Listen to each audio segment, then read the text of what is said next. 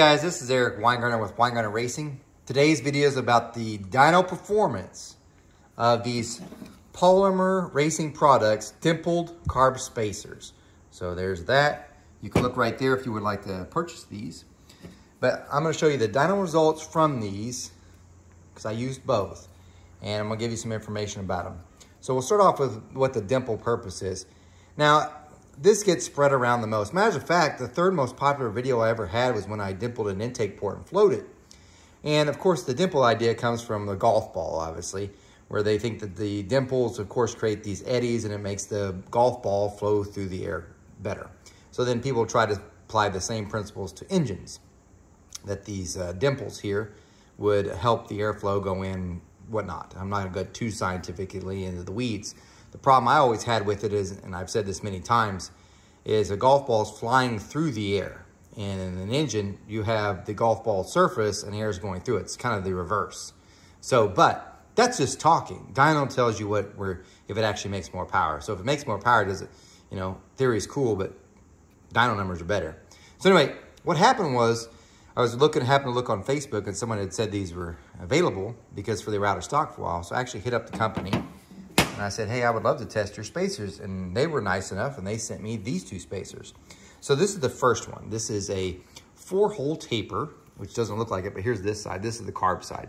You can see it's got a four hole, but it does taper on this side. And this is what you get. Of course, you got your dimples and it's pretty nice. You got a cool O-ring too that also seals on the base. It has these uh, metal bushings in here to prevent you from over tightening or breaking your spacer. So that's a cool one. But they also sent me this one. Now this is like a cloverleaf design. Let's see if I can find it. There's your part number for that one. The top looks like this, and the bottom has kind of a where it flares out. Same O-ring design, same steel spacers. So I was like, well, I'm gonna test these. So I'm gonna show you dyno's results with these because I did do something different. But I also have to talk about the other spacers because if this is better, we have to have tested against the best one that I've used so far. So the reason why I have these stacked here is because I want to show you, I have tested all these spacers.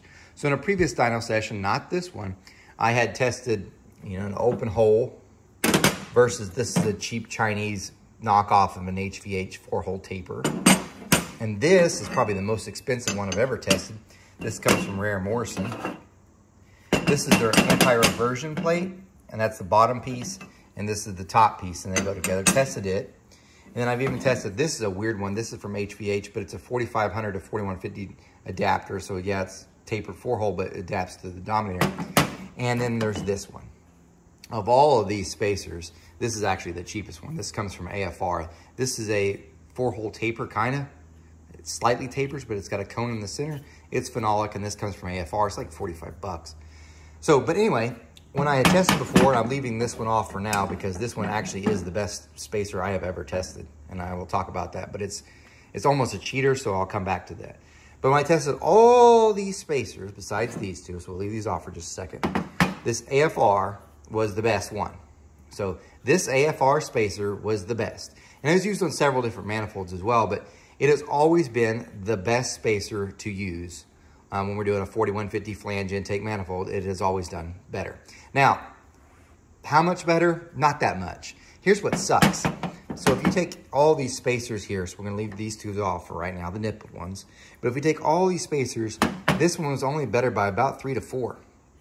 And when I tested on a manifold, which I'll show you in a manifold in a second that was tested on, without the spacer, this with the spacer only gained eight horsepower. So it's not like you gained 20 but this gained eight. So the others might have gained, like I said, about five.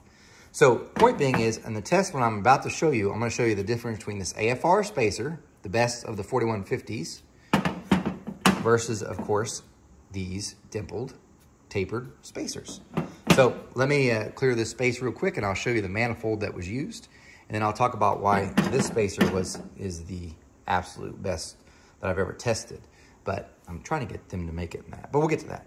So let me show you the manifold that was used, and we'll show you the dyno results also. This is the manifold that was used. And I'm going to tell you what the dyno um, mule that we used to test these carb spacers was. It's a 406 small block Chevy. It's got a scat rotating assembly in it. And it has an Erson solid roller cam with a 260 degrees of duration on intake at 50 thousandths, 270 on exhaust, 108 lobe separation, 685 lift. It's 11.2 compression ratio. It sports a set of AFR 227 competition port heads. They're in there out of the box. And we ran this head, or sorry, this manifold on this particular test I'm going to show you. And it had a 1000 CFM 4150 Demon carburetor that was redone by Mark Whitener. Carburetor's been phenomenal. So that's pretty much the gist of it. It's a good running engine. The thing makes about 630 horsepower, so it's no slouch. It's definitely a uh, pretty good piece. It's run on 91 uh, octane with a, just a splash of 110. In other words, it's a 15 barrel, 15 gallon barrel, and it might have like a gallon of 110 in there. So if anything, it's just bringing up, bringing up to like 93. Does it need it? No, it's more for safety, honestly. It's never had any spark knock issues. So anyway, why did I pick this manifold to use? Well, for one, when that engine that I'm talking about, this 406 Monblock Dynamo was used, the first intake that was ever tested was this one. And this was the one that was tested without a carb spacer. So when it went from this to this AFR, it gained eight horsepower. So what a great way to test to see if these do. The other reason is if you notice the top of this manifold, it's got a bit of a clover leaf. Now this is stock, as you could tell, it's not ported, it's not even port matched, not even close. Um, so I thought the reason why I wanted to use this is because they sent me this spacer. If you look at it, it's clover leaf. So I'm like, mm, maybe, you know? Let's give it a shot. You know what I'm saying? Um, let's try it on this. So here's the way it was run. So the first thing that was run was this. We ran it just like a normal. One. We ran it just like this, 1000 CFM. So we got your four-hole taper dimpled spacer.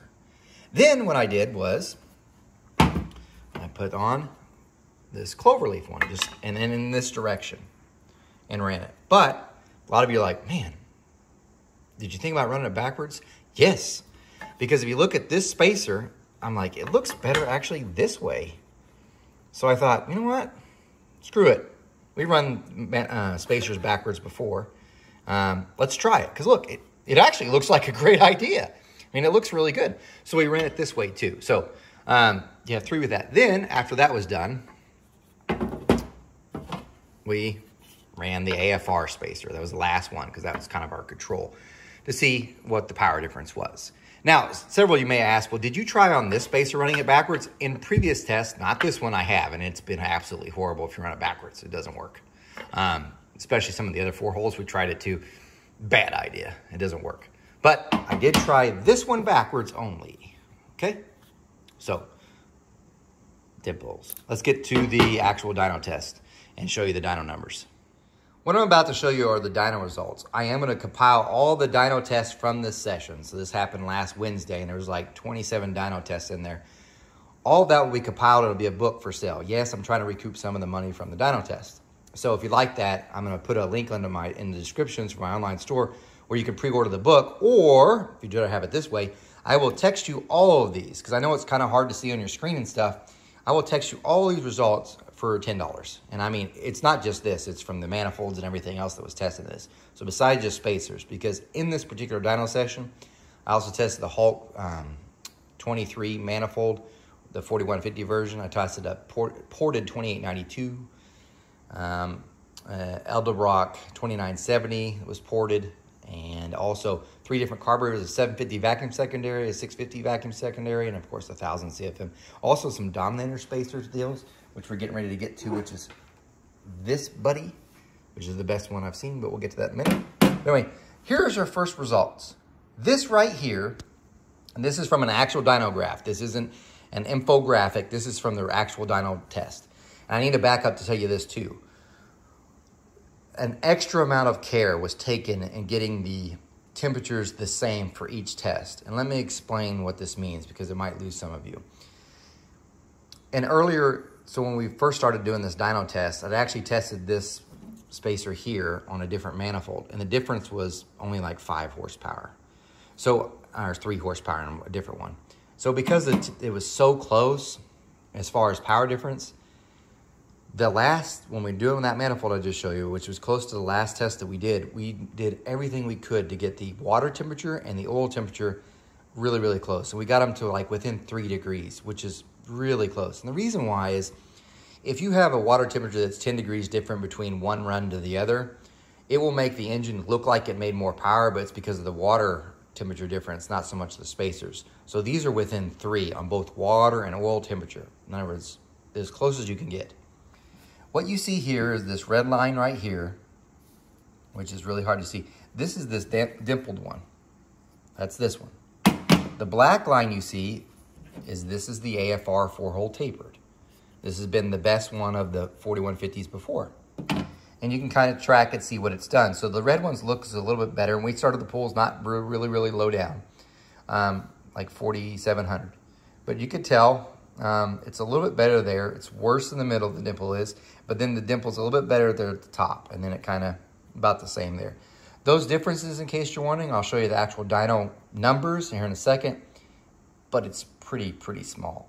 So this is the overlay, just to give you an idea. So a little bit better at the top, a little bit there, better there, worse in the middle. But again, there's not a huge difference there. Now for the next one. This one's the more exciting one. This truly is the best one of them. The thing you really should be watching this video for is this. Get it turned. This is the different one. What we have here in the red line is the AFR four-hole taper which it's really hard to see. If you could tell, it starts here. It's the lowest at the beginning. And then it kind of gets blended in. You don't really see it again, so we can almost ignore that. Then we've got the black line is this one. Now this is exciting. See this black line right here? This is the dimpled, but it's backwards. So here we have the clover leaf this way. So it's sitting on the manifold exactly this way, which is the backwards way which it should be, sitting like this. Black line. The blue one is this direction, which I'll show you in a second. And then, of course, the green line is your tapered four hole. Now look at it. The only thing that really can stands out, and it stands out really, really clear, because you look, a lot of these are just pretty much them almost identical, right? Except for here and here. That here and here is this spacer, the dimpled one, this direction. That's right. This one is the weirdest test there is because all of them, so if it gains, if you think it gained 20, it didn't. But what you can tell is it's a little bit better each step. As you can tell, this is the blue one. We did not drag the engine down as far when I had it with that one on. I don't know why we didn't. I'm being honest, it probably just a brain fart on us. But anyway, regardless, if it had, it probably would have been way up here too. But for sure, the dimpled is better at the lower RPMs. So we start at the pull at 4,500. The red one's the AFR. Those dimpled spacers are better. But this is next level. This is so much better having it face this direction with the dimples. Not only that, it's the same through the middle, so it didn't lose anything. And at the top, it's better. And that's in the 7,000 RPM range. So having this spacer is now the in this direction makes the best 4150 manifold spacer I have tested. Now, what the weird thing is to find out would be, is it better on other intakes? Because the sad part is I did not try this spacer on other intakes. So during this dyno session, I tried this one on several. So on that Porta 2892, it actually lost three horsepower to this, but gained three foot-pounds of torque versus the AFR. On the 4150, the Hulk 4150, it gained five and, uh, sorry, yeah, gained five and like five foot-pounds of torque to this. You're like, why don't you show that in this video? I'm saving them for another video because let's be honest, I'm using that for more content. But this is the best one you're going to get anyway for as far as the dimpled spacers. So it was pretty much a wash, and I didn't think much about using it until the AFR intake that we're using. So I didn't use this on other intakes, and I wish I would have now because it did so well. So in this particular combination, it's, it's quite outstanding. I mean, that's good. Now, is it because of the dimples? That's the real question you're watching the video for. I don't know. Because the dimples themselves may not be the ticket here. It might be we now have flared out and it necks down and it makes more power. That may be the issue more than the dimples. Because if you look at these two, you have your dimpled four hole versus a smooth four hole. Besides the very beginning of the run, they're virtually identical. They're really, really close, which is what the last graph showed. But let's show you the raw numbers. Try to turn this by hand. I also don't want to lose these. So let's see. Lay these out like this. Uh, give me just a second, I'm sorry. Makes me look weird, but I'm trying to get this all laid out best I can. I should have prepared a little bit better. Before you look at these graphs, I'm gonna go ahead and tell you, when you're looking at the fuel flow, it's wrong. The reason why it's wrong is because I accidentally knocked off the sensor that reads the second channel for the fuel flow. Um, you've got one, on a dyno, you've got a sensor that reads the fuel flow from one of the um, uh, regulators, which feeds the front bowl, and then you've got another one that reads the for the second uh, regulator, which feeds the back bowl. And I knocked off the wire that feeds the second one, so it doesn't show. That's why the, the fuel looks weird. And so with the calculated air fuel ratio, it's not that lean. Speaking of which, because someone's going to ask me, did you jet different for any of them? No. Here's the thing. I'm watching the actual O2 sensors. We actually have an O2 sensor. They're all reading within 12.8 to 13.0. And you're like, wow, that's really lean. It makes the most power there. Could jetting have changed it? Not enough. And I'm going to be honest with you and tell you guys this. If you're between 12.5 and 12 or 13, changing any jets gains like three horsepower, which might have made the difference where these would have been the same, but they were already so close to the same. It could have done this either way on both of them. So those are pretty much a wash. That's the only one that's really the outlier. So the air fuel ratios are virtually identical. But anyway, here we have the dimpled four-hole tapered spacer, okay? So this is the dimple. That's this one right here. We're gonna look at just peaks just for fun. And by the way, like I said, you, 10 bucks, you can get all these sheets just text to you. Or you can buy a pre-order the book and you have them in your hand. But peak power came in at 627.1, that's 66. This, I believe, is the, that's a Clover. Let's find the AFR one. There it is. Nope. Here's the AFR, 630. So it actually made more peak power, the AFR spacer, than that. So more peak power than this. Only at peaks. But then you look at some of the else, let's look at the peak torque. 556 versus the dimpled was 557. See, so it's they're pretty much a wash. They're so close, it's it's too close. I mean, that's like two horsepower. I mean, it will repeat, obviously, if we get the water temperature the same. But the difference comes from this dude. So let's just do it with uh, facing normal. So if we face normal, it made 527, which is about the same as the, the regular four-hole tapered. And still less than this by two. And then torque, though, 556 versus the AFR's 556 versus the 557. So again, 56, 56 on torque. I'm facing this direction, by the way. 57. So it's so close. But this direction's where things change. This clover in this direction gets this. Now let's look at the peak torque. 560 torque. Actually, sorry, 562 torque compared to the, remember, that this direction, 562, these were 556 or 557 and uh, 555 or 567. I mean, whatever, it's about the same. These are virtually identical. This one's the one that's higher, 562. It's better than those. it's having it face that direction.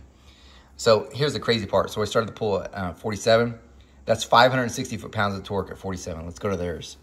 4,700, 543. That's almost 30. Uh, and this is the dimpled clover leaf. So this direction versus this clover or this uh, tapered four hole in this direction, that was almost 30 foot-pounds of torque at 4,700. That is crazy. And then if you look at the AFRs, let me get to that one. The AFR was at 4,700, 540. So it's still up 20 foot-pounds of torque in this direction versus these in their normal direction. Insane, right? All right, let's look at the peak power though. This one did a 629.8, which if you look, that's virtually identical. So this made the same peak power in this direction as this one, but it was better than that. Now, if you look further on though, let's see, the, D, the AFR spacer at 7,000 though was making 618. This clover with the dimples in the backward direction was making 621 or 22 almost. So it was better. So it's five better at the higher RPM too. You see what I mean? So if you're looking at, man, I was really wanting to find out if dimples make more power. From what I could tell, as far as the spacers wise, the dimples themselves, it doesn't seem like it added any more power. But this one, just because of its design, most likely did. So it's like one of those weird flukes where things, sometimes what you don't think will work, will work. So I thought you'd get a kick out of it. Now, you might be saying, well, I thought I saw something online and they make 20 more horsepower. This is one situation. In other situations, that might be different. So don't take this as absolute gospel, but it is something to think about. Um, however, in all my testing, no spacer, and remember, this is the big block Chevy I've got a dyno mule for, in case you've never watched my channel.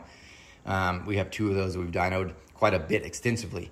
No spacer has ever gained 20 with the exception of this, and this is the reason why it's here. This is the only spacer that's ever gained 20. And on every single combination it's been on, whether it be the 406, hell, even in the customer's engines, every single thing this ever has been on, everything, big block, small block, does not matter. This has made 20, but it's a cheater. And let me explain. This is an HVH, but it's a 4150 bottom. So this is made for the 4150 manifolds. 4500 top, it's tapered down. This is the only one I've ever tested where I could say if I put this on with the Dominator versus this or any of these, because if I had put that on, on the same one as this, this would have been up 15 solid horsepower everywhere and about 20 foot-pounds of torque. This one is the only one so far. Now, I have been trying, because I contacted um, Polymer Racing Products, we'll give them a plug again. And I want to see if I can't get them. And they've been really great, so maybe they will. But they're like, they just don't have enough market for us, what they said. I want to see them make this tapered four-hole Dominator down to 4150 in a dimpled. Because that may be the ticket. Um, but right now, so far, that's the best spacer I could say for sure gains you power. These other ones, they do gain, just not like that. This is a small gains. That's big. So, but anyway, I know I went a little bit long-winded, but there's a lot of information in these. Thanks again to Polymer Racing Products. They got a great spacer. It, I mean, it does function. If you're buying that and you got a, one of them AFR spacers or intakes, you might want to put it like this, give it a run. You might say, well, that's only one test. Remember, I also tested this one on many other ones. I just didn't this one because I honestly didn't think it'd work. And that was a mistake. So in future tests, I'm going to test more of these on different engine combinations like this to see if it does anything. If it's just a fluke, it only does with the AFR intake. But anyway, guys, thanks for watching. Remember, I'm no Superman. I do not port cast iron heads. You guys take care.